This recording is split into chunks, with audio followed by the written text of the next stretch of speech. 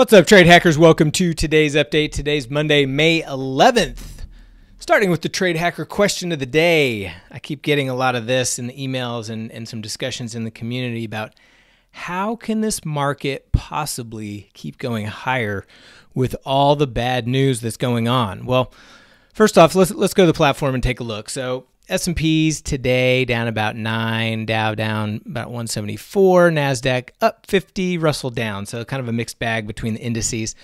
Taking a look at the S&P 500 first. And so obviously this is the big downdraft we saw and this has been the rebound thus far. So the question is how is this you know just massive rally continuing to happen? You can see at one point we were down 33% year to date. Now the S&P's only down 10.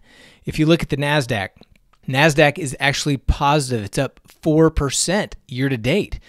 And a couple things. One, big tech is leading this market, right? I mean, they are unequivocally, absolutely leading this market. You've got companies, and, and I don't necessarily consider Zoom big tech, but you know, Zoom is up 142%. You look at Netflix, obviously, Netflix still continuing to do well. Netflix is up 33% year to date. Obviously, staying at home doesn't affect them much. Uh, you got things like Roku. Then you got, you know, what I really consider big tech, more like Amazon. Amazon's up 26% year to date. I mean, they're they're benefiting from the corona economy, the stay-at-home economy that we're living in right now. If you look at Facebook, obviously Facebook still continues to do well. It's up pretty flat for the year. Now, Facebook is uh, in a little bit of a different situation. I mean, they're getting a ton of traffic, people at home, people on social media. So the amount of people that are interacting on Facebook, but they're not as up as much as you might think because they are really ad revenue driven. And a lot of companies have put a hold or reduced their ad spend on social media because, I mean, think about it. If you're a pizza shop, a local pizza shop, and you had typically advertised on Facebook, well, you're not open right now, so you're not advertising for people to come in. But still, just with the mass amount of people on social media, uh, your Facebooks of the world and your Twitters have done very well during this time. Obviously, what has not done well? Well, you look at like Boeing.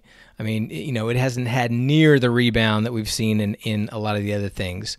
If you look at some of the other airlines like Delta, a DAL. I mean, you know, you're not seeing near the bounce in Delta like you're seeing in everything else. If you look at Wynn Casino, surprisingly has bounced even more than than I would suspect, but but still not quite as much as some of these big tech. So big tech is leading the way. Why else is this market holding up as well as it is? Well, think about everything that the Fed has done and everything that the government has done from a stimulus standpoint. The Fed has cut rates to zero. They have just flushed this economy with cash. You've got the PPP and the and the different um, forgivable loan programs that are going on, where there's just so much cash being pumped into the system that it's certainly helped in propping this thing up.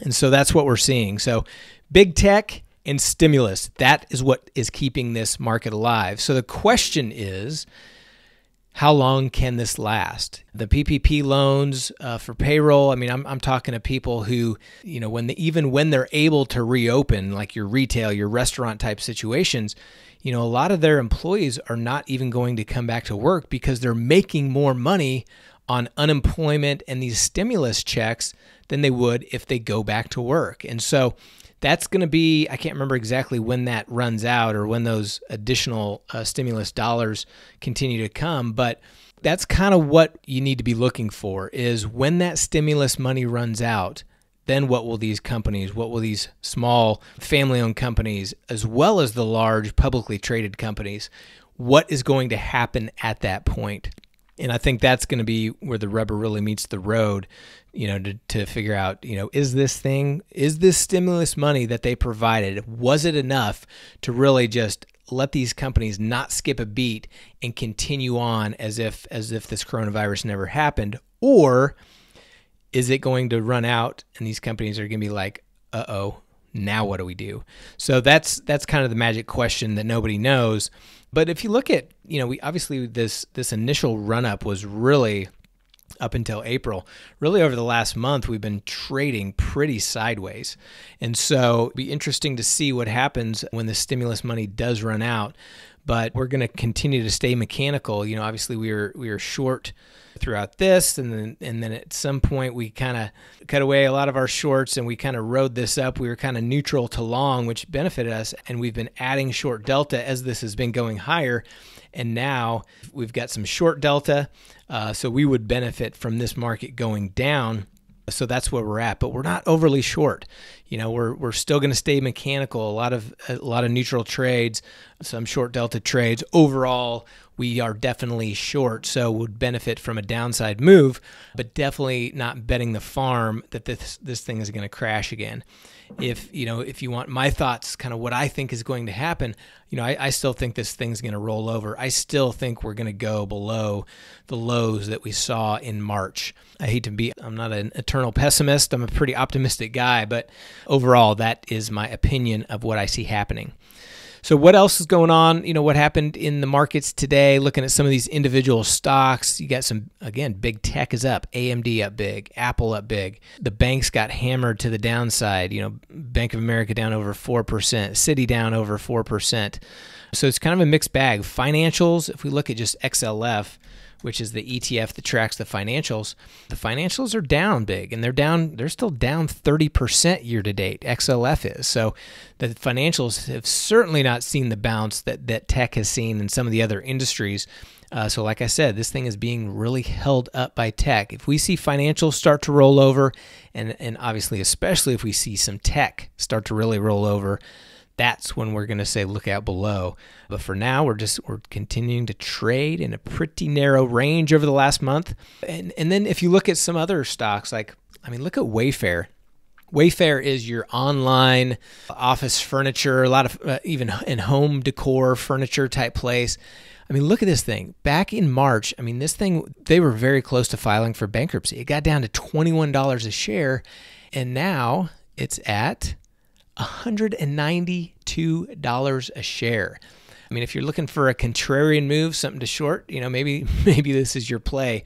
I haven't dipped in yet, but definitely tempting the way that this thing has moved on the back of basically getting ready to file for bankruptcy just a month and a half ago. Some of the traveling company, you know, booking, uh, like I said, Delta, you know, those are continuing to see some downside pressure.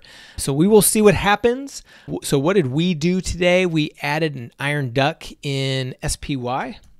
Look at SPY with our iron duck strategy. We have a big buffer to the downside, so we can profit as long as this thing kind of doesn't go down too far. And then, obviously, if it continues to rip higher, we have no risks to the upside and we'll continue to make money no matter how high it goes. So I really like a lot of those plays where you have, you know, no risk in one direction as well as some implied volatility is still high. If you look at the IV percentile on SPY, it's still at 79 you know, IV rank down at 25 level, but these options are still elevated. There is still a lot of uncertainty out there, which causes the price of options to be elevated and still a good time to be selling some premium. So that's what we're going to continue to do.